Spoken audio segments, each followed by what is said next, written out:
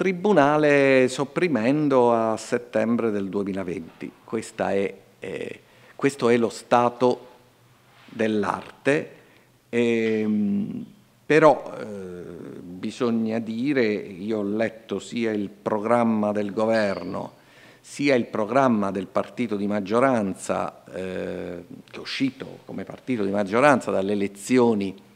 del 4 marzo scorso, eh, in cui si dice che questi tribunali, non solo Vasto, ma anche gli altri tre, Lanciano, Vezzano e Sulmona, non verranno chiusi e si troverà una soluzione.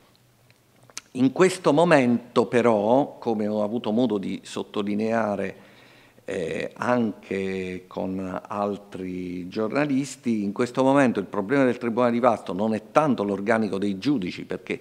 i giudici ci sono, sia i giudici professionali che i giudici onorari, noi siamo a pieno organico. Il problema è il personale amministrativo, abbiamo una scopertura ormai che ha raggiunto il 40% perché praticamente noi abbiamo personale che va in pensione, perché raggiunge i limiti di età necessari per andare in pensione, ma non riusciamo ad avere personale in entrata perché il nostro Tribunale non risulta più nella pianta organica del Ministero della Giustizia. Non risulta più perché è un Tribunale che deve essere soppresso. Ma è un Tribunale che deve agire per altri due anni, che non sono due mesi, e quindi un tempo per fare ancora tante cose e io spero che ci sia un ripristino di questa pianta organica a prescindere dalle decisioni che verranno adottate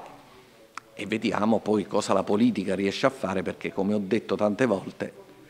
è la politica che ha deciso questa soppressione, è la politica che può decidere che questa soppressione non vi sia.